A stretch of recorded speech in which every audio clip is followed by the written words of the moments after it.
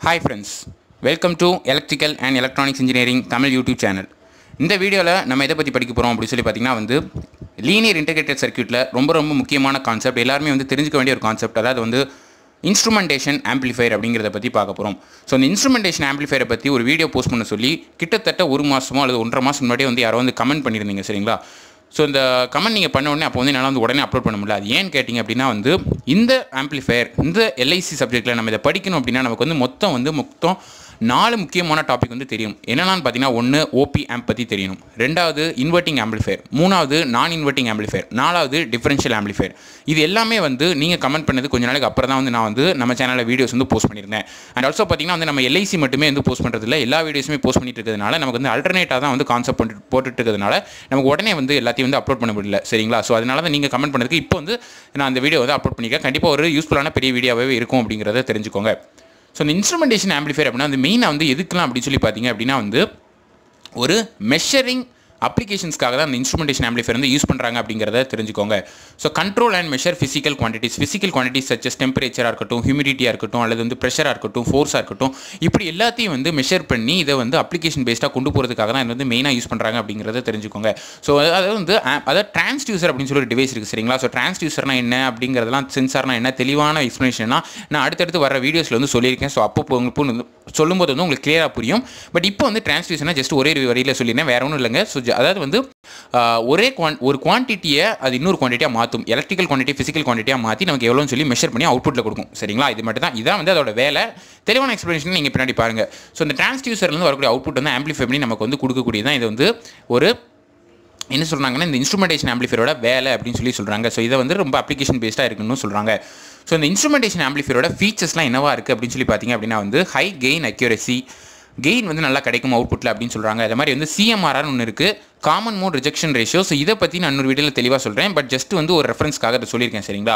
High stability இருக்கும். அது மாதிரி லோ டெம்பரேச்சர் கோஎஃபிஷியன்ட் இருக்கும். And low DC offset DC offset என்னன்னு பார்த்தீங்கன்னா பிரசன்ஸ் ஆஃப் டிசி என்னன்னு ஏசி சர்க்யூட் அதாவது வந்து ஏசி சர்க்யூட் அல்டர்னேட்டிங் கரெக்டாக நம்ம ஒர்க் பண்ணிட்டு இருக்கும்போது ஏதாவது டிசி பிரசன்ஸ் வந்து உள்ளே இருந்தது அப்படின்னா என்ன இருக்கும் அப்படின்னு பார்த்தீங்கன்னா டிசி ஆஃப்செட் அப்படின்னு சொல்லுவாங்க. அதோட பேர் அது வந்து லோவாக இருக்கணும் அப்படின்னு சொல்லி சொல்கிறாங்க அண்ட் லோ அவுட்புட் இம்பிடன்ஸ் இது நமக்கு பேசிக்காக தெரியும். இன்புட் இம்பிடன்ஸ் வந்து ஹையாக இருக்கணும். அவுட்புட் இம்பிடன்ஸ் வந்து லோவாக இருக்கணும் அப்படின்னு சொல்கிறாங்க ஸோ வாங்க அடுத்து வந்து சர்க்யூட் அனாலிசிஸ்க்குள்ளே போகலாம் இந்த ஆம்பிளிஃபையரை பற்றி ஸோ அந்த இன்ஸ்ட்ருமெண்டேஷன் ஆம்பிளிஃபயரை பற்றி நீங்கள் தெளிவாக படிக்கணும் அப்படின்னா நான் முதல்ல சொன்ன மாதிரி உங்களுக்கு என்னென்ன தெரிஞ்சிருக்கணும் அப்படின்னு பார்த்தீங்கன்னா டிஃபரன்ஷியல் ஆம்பிளிஃபயரோட அனாலிசிஸ் வந்து கிளியராக தெரிஞ்சிருக்கணும். அதை வந்து நம்ம சேனலில் ஒரு வீடியோவில் வந்து நான் போஸ்ட் பண்ணியிருக்கேன்.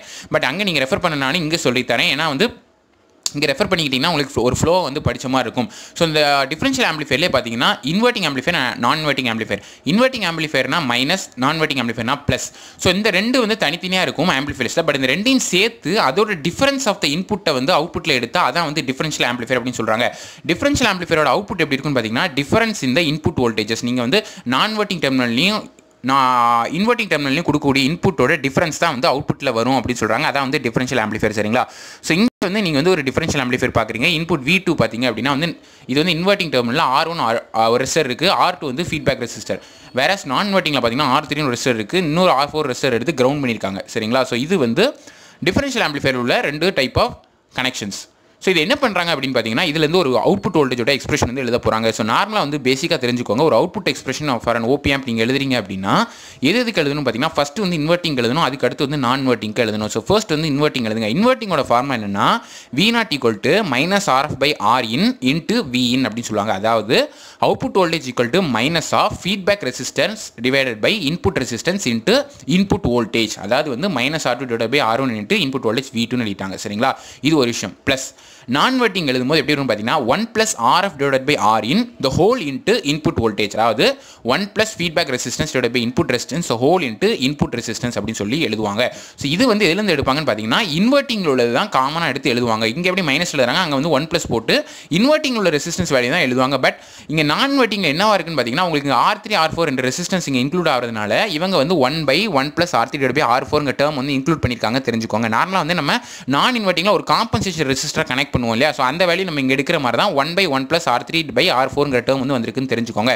இன்னொரு ஈக்குவேட்டிங் பர்பஸ்க்காக என்ன பண்ணாங்கன்னா R one by R two equal to R three by R four அப்படின்னு சொல்லி எடுத்துட்டாங்க. ஸோ இந்த ஈக்குவேஷனை எடுத்து இதில் சப்ஸ்டியூட் பண்ணி பார்த்தீங்கன்னா ஃபைனலாக ஒரு ஆன்சர் வரும். என்னென்னு பார்த்தீங்கன்னா V not equal to R two divide by R one into V one minus V two அப்படின்னு சொல்கிறாங்க ஸோ இதுதான் வந்து ஒரு டிஃபரன்ஷியல் ஆம்பிளிஃபயர் நான் காட்டியிருக்க நான் கொடுத்துருக்க டிஃபரன்ஷியல் ஆம்பிளிஃபயரோட அவுட்புட் என்னன்னு பார்த்தீங்கன்னா V not equal to R two divide by R one into V one minus V டூன்னு சொல்கிறாங்க ஸோ இந்த நாலேஜை இதை கிளியராக புரிஞ்சுக்கிட்டு இது புரியலனாலும் நான் ஏற்கனவே போட்ட ஒரு வீடியோ போயிட்டு நீங்கள் அனலைஸ் பண்ணிட்டு அதுக்கப்புறம் இதுக்கு இதுக்கு அடுத்ததாக வரக்கூடிய இன்ஸ்ட்ருமெண்ட் ஆம்பிளி ஆம்பிளிஃபயர் பற்றின அனாலிசிஸ்க்கு நீங்கள் வாங்கன்னு சொல்கிறேன் ஸோ வாங்க அடுத்ததாக இன்ஸ்ட்ருமெண்டேஷன் ஆம்பிளிஃபயர் அனாலிசிஸ் பற்றி சொல்கிறேன்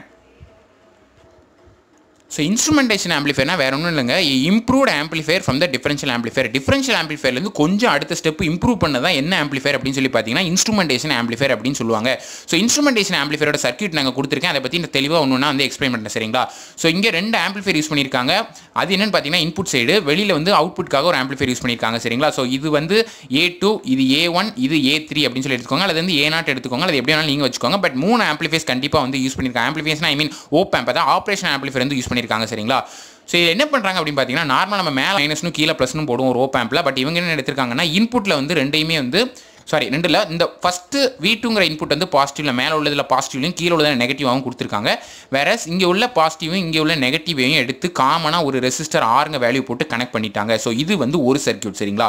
ரெண்டாவது வந்து நீங்கள் அவுட்புட் சர்க்யூட் போகும்போது என்ன பண்ணுறாங்கன்னா இந்த ஆறுலேயே வந்து ரெண்டு விதமான வோல்டேஜ் ரெண்டு எண்டுலேயே ரெண்டு வோல்டேஜ் கிரியேட் பண்ணணுங்கிறதுக்காக ரெண்டு எண்டையும் வந்து என்ன பண்ணுறாங்கன்னா ஒரு ரெசிஸ்டன்ஸ் ஆர் டேஷுங்கிறது கனெக்ட் பண்ணுறாங்க ஆர் டேஷ் கனெக்ட் பண்ணி இந்த அவுட்புட்டோட ஃபீட்பேக் மாதிரி கனெக்ட் பண்ணி வச்சுட்டாங்க. ஸோ இந்த கனெக்ட் பண்ணி வச்சோன்னே என்ன நடக்குன்னு பார்த்தீங்கன்னா இது வேற ஒன்றும் இல்லை நார்மலான ஓபி ஆம்ப் ரெண்டு ஓபி ஆம்பை நம்ம காமனாக ஒரு ரெசிஸ்டர் போட்டு கனெக்ட் பண்ண மாதிரி ஆயிடுச்சு சரிங்களா? ஸோ இதுக்கப்புறம் என்ன பண்ணுறாங்க அப்படின்னா இங்கேருந்து இந்த அவுட்புட் ஃபீட்பேக் அவுட்புட் இருக்குல்ல இதோட அவுட்புட் இதோட அவுட்புட்டையும் வந்து ரெண்டை எடுத்து நார்மலாக நம்மளோட டிஃபரன்ஷியல் ஆம்பிளிஃபையரில் கனெக்ட் பண்ணுறாங்க ஏன்னா நல்லா பாருங்கள் நல்லா நான் சொன்ன மாதிரி கொஞ்சம் க்ளீனாக பாருங்கள் ஸோ இந்த இந்த ஒரு பார்ட்டை நீங்கள் பிரித்து பாருங்கள் சாரி நான் முதல்ல வந்து உங்களோட ஒரு லைன் போட்டு காட்டியிருந்துருக்கணும். ஸோ இதில் பார்த்தீங்க அப்படின்னா சில பார்த்தீங்க அப்படின்னா இது வந்து என்ன சர்க்கியூட் இந்த டேஷுக்கு இங்கிட்டு உள்ள சர்க்கியூட் பார்த்தீங்கன்னா டிஃபரன்ஷியல் ஆம்பிளிஃபயர் கரெக்டாக இதை தான் நம்ம முன்னாடி பார்த்தோம். அதுக்கு அண்டர் சைடு உள்ளது பார்த்தீங்கன்னா நார்மலாக ரெண்டு ஓப் ஆம்ப் எடுத்து அவுட்புட்டில் உள்ளதை எடுத்து இன்புட்டில் கொடுக்குறாங்க சரிங்களா? ஸோ இது வந்து முடிஞ்சு போச்சு. இது வந்து இன்ஸ்ட்ருமெண்டேஷன் ஆம்பிளிஃபரோட சர்க்கியூட் இப்போ நம்ம எங்கே போகிறோம்னு பார்த்தீங்கன்னா அனாலிசிஸ்க்குள்ளே போகிறோம் ஸோ அனாலிசிஸ்க்குள்ளே போகிறதுக்கு முன்னாடி டிஃபரன்ஷியல் ஆம்பிளிஃபரோட அவுட்புட் என்ன பார்த்தீங்கன்னா V not equal to R two divide by R one into V one dash minus V two அங்கே நம்ம என்ன பார்த்தோம்னா V one minus V two ஏன் அப்படின்னா அங்கே இன்புட் வந்து அது மட்டும் தான் பட் இங்கே பார்த்தீங்கன்னா ரெண்டு அவுட்புட் வந்து இதோட இன்புட்டில் எப்படி வருதுன்னா V one dash V two dash வரதுனால V one dash minus V two டேஷ்னு எடுத்துட்டோம். ஸோ இது வந்து ஒரு பார்ட் முடிஞ்சுது. ரெண்டாவது பார்ட் வந்தீங்க அப்படின்னா ஃபர்ஸ்ட் பாருங்கள் no current flows in op amp ஒரு நார்மலாக நம்ம ஓபிஎம் நம்ம அனலைஸ் பண்ணாலும் கரண்ட் வந்து ஃப்ளோ ஆகாது அப்படின்னா நம்ம ஐடியாவில் தான் அசியூம் பண்ணுவோம் அப்படிங்கிறத தெரிஞ்சுக்கோங்க. இது நம்ம தெரிஞ்ச விஷயம். அப்படி அசியூம் பண்ணும்போது இந்த கரண்ட் இருக்கு இல்லையா இது வந்து வேரியபிள் ரெசிஸ்டர் ஒரு பொட்டன்ஷியல் மீட்டர் மாதிரி வி ஒன் வி டூ வந்து அதை அட்ஜஸ்ட் பண்ணி வேரி பண்ணுவாங்க. ஸோ இதில் போகக்கூடிய கரண்ட் என்னவா எழுதுறாங்கன்னா V one minus V two divide by R கரெக்டாக இது பேசிக்காக நம்ம சர்க்கியூட் தியரியில் உள்ள நாலேஜ் ஒரு ரெசிஸ்டருக்கு அக்ராஸாக போகக்கூடிய கரண்ட்டை difference in voltage divide by அந்த ரெசிஸ்டன்ஸ் வழி போட்டால் அதை வந்து current எழுதிட்டாங்க. And passes through R dash இந்த கரண்ட் எங்கேருந்து வந்து பார்த்தீங்கன்னா ஆக்சுவலாக இந்த ஆர் டேஷ் வழியாக வந்து இந்த ஆர் வழியாக போயிட்டா மறுபடியும் வந்து இந்த ஆர் டேஷ் வழியாக போகுது. சரிங்களா? ஸோ இப்போ இதுக்கு வந்து என்ன பண்ணுறாங்கன்னா இந்த வி ஒன் டேஷ்க்கும் இந்த வி டூ டேஷ்க்கும் எக்ஸ்பிரஷன் வந்து எழுதுறாங்க. ஸோ இந்த வி ஒன் டேஷோட எக்ஸ்பிரஷன் என்ன பார்த்தீங்கன்னா IR dash plus V one அது எப்படின்னு பார்த்தீங்கன்னா இந்த வி ஒன் டேஷ் நீங்கள் இன்புட்டாக கன்சிடர் பண்ணிக்கோங்க. So input equal to voltage எப்படி எழுதுவீங்க? இங்கே உள்ள வோல்டேஜ் ட்ராப் ப்ளஸ் இந்த வோல்டேஜ் அதை தான் பண்ணியிருக்காங்க இங்கே உள்ள வோல்டேஜ் என்ன பார்த்தீங்கன்னா வி ஒன் ப்ளஸ் இங்கே உள்ள வோல்டேஜ் ட்ராப் என்னன்னு பார்த்தீங்கன்னா இந்த ஐ தான் வந்து இங்கே கிராஸ் ஆகிருக்கும் ஸோ ஐ ஆர் டேஷ் அப்படின்னு சொல்லி எழுதிட்டாங்க. சிமிலர்லி வி டூ டேஷ்னு எழுதுறாங்க. இங்கே உள்ள வோல்டேஜ் ட்ராப் ப்ளஸ் இந்த வோல்டேஜ் வோல்டேஜ் வந்து பார்த்தீங்கன்னா வி டூ இந்த பாயிண்டில் இருக்கக்கூடியது ப்ளஸ் இங்கே உள்ள ட்ராப் என்ன பார்த்தீங்கன்னா ஐஆர் டேஷ் இங்கே மைனஸில் எழுதியிருப்பாங்க. ஏன்னா அந்த கரண்ட் வந்து இங்கேருந்து இன்புட்டில் போகுது. நாம் வந்து எப்படி எடுப்போம்னா நம்ம அந்த சைடு பார்த்தா எடுத்திருப்போம். டேரக்ஷன் நம்ம எப்படி இருக்கனால இங்கே வந்து மைனஸ் எழுதியிருக்காங்கிறத தெரிஞ்சுக்கோங்க.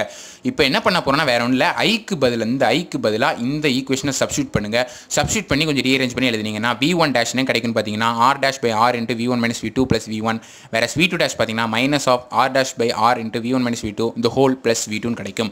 இப்போ என்ன பண்ணுறாங்க அப்படின்னா இந்த V one dash V two டேஷை இந்த ஈக்குவேஷனில் சப்ஸ்டியூட் பண்ணுங்க. சப்ஸ்டியூட் பண்ண என்ன கிடைக்குன்னு பார்த்தீங்கன்னா V not equal to R two by R one into two R dash by R into V one minus V two plus V one minus V two அப்படின்னு சொல்லி கிடைக்குது. ஸோ இந்த ரெண்டில் V one minus V two நீங்கள் காமனாக எடுத்துருங்க சரிங்களா? So காமனாக எடுத்துட்டிங்கன்னா அடுத்ததை வாங்க என்ன வரும் அப்படிங்கிறத சொல்கிறேன் ஸோ காமனாக எடுத்துட்டிங்க அப்படின்னா V not equal to R two divide by R one into one plus two R dash by R the whole into V one minus V டூன்னு வரும். ஸோ இதில் V one minus V two காமனாக எடுத்துட்டு இந்த ஃபார்மில் one plus two R dash by R அப்படிங்கிற ஃபார்மில் எழுதியிருக்காங்க. இதில் ஒரு அட்வான்டேஜ் அதாவது வந்து இதில் ஒரு ஹைலைட்டிங்கான விஷயம் என்னென்னு பார்த்தீங்கன்னா one plus two R dash by ஆருங்கிறது gain of the amplifier instrumentation amplifier அப்படிங்கிறத தெரிஞ்சுக்கோங்க. பயோமெடிக்கல் அப்ளிகேஷனில் இதை ரொம்ப அதிக அளவில் வந்து யூஸ் பண்ணிட்டு இருக்காங்கிறதே தெரிஞ்சுக்கோங்க. ரொம்ப ரொம்ப நம்ம ஒரு ஓபி ஆம்ப்னு எடுத்தாலே அப்ளிகேஷன் பேசினாலே இன்ஸ்ட்ருமெண்டேஷன் ஆம்பிளிஃபயர் தான் சொல்லுவாங்க. ஸோ அதனால் இதுலேயும் வந்து நிறைய ஸ்பெஷல் கேஸ் இருக்குது அதை வந்து அடுத்தடுத்த வீடியோஸ் நான் சொல்கிறேன் ஸோ இந்த வீடியோ பார்த்தீங்கன்னா ஒரு பெரிய வீடியோவாகவே போயிருக்கு. கண்டிப்பாக புரிஞ்சிருக்கும்னு நினைக்கிறேன். ஒன்று கிளியராக வந்து எக்ஸ்பிளைன் பண்ணியிருக்கேன் ஸோ இதில் ஏதாவது டவுட்ஸ் இருந்தால் கமெண்ட்ஸில் லீவ் பண்ணுங்கள் உங்களுக்கு வேறு என்னென்ன மாதிரி வீடியோஸ் வேணுங்கிறது வந்து கமெண்ட்ஸில் சொல்லிட்டே இருங்க. அது மாதிரி வந்து நம்ம அல்டர்னேட்டாக வந்து கான்செப்ட் போட்டுகிட்டே இருக்கிறதுனால இன்னைக்கு ஒருத்தர் வந்து ஒரு கான்செப்ட் படிச்சிங்கன்னா நாளைக்கு அந்த கான்செப்ட் வந்து வராது. அந்த ரிமைனிங் கான்செப்ட் ஸோ அதனால் நீங்கள் வந்து கண்டிப்பாக வந்து மேபி வந்து ஒரு மாதிரி ஃபீல் பண்ணலாம். ஸோ இன்றைக்கி வந்து பாதி படிச்சிட்டேன். நான் மீதி வந்து நாளைக்கு படிச்சலாம்னு பார்த்தா அந்த கான்செப்ட் நீங்கள் போடல நீங்கள் சொல்லியிருக்கலாம் ஸோ அதனால் நீங்களே வந்து ஒரு ஐடியா சொல்லுங்கள் நான் எப்படி ஒரு பிளான் பண்ணுறேன் அப்படின்னா வந்து ஒரு கான்செப்ட்டை போட்டால் அதை வந்து எத்தனை நாள் கண்டினியூஸாக நான் போடலாம். ஒரு மூணு நாள் நாலு நாள் அதுவே போடுங்க. அதுக்கு அடுத்து ஒரு நாலு நாள் வந்து இன்னொரு கான்செப்ட் போடுங்க அப்படிங்கிற மாதிரி அது ஏதாவது ஒரு ஐடியா இருந்தது அப்படின்னா அதையும் கமெண்ட்ஸ் லீவ் பண்ணுங்கள் ஏன்னா ஒவ்வொரு நாள் மாறி மாறி போடுறது மேபி உங்களுக்கு அன்கம்ஃபர்டபுளாக இருக்கலாம் அப்படிங்கிறத நான் ஃபீல் பண்ணேன். ஸோ நாளைக்கு இதே மாதிரி நல்ல ஒரு வீடியோ உங்களை சந்திக்கிறேன். உங்கள் ஃப்ரெண்ட்ஸ் எல்லாருக்கும் ஷேர் பண்ணுங்கள் எல்லாருக்கும் சொல்லிக் கொடுங்க. Until then see guys stay care bye stay home stay safe அப்படிங்கிறதையும் சொல்லிக்கிறேன். ஸோ நாளைக்கு ஒரு வீடியோவில் பார்க்கலாம். அதுவரை தேங்க்யூ ஃபார் வாட்சிங்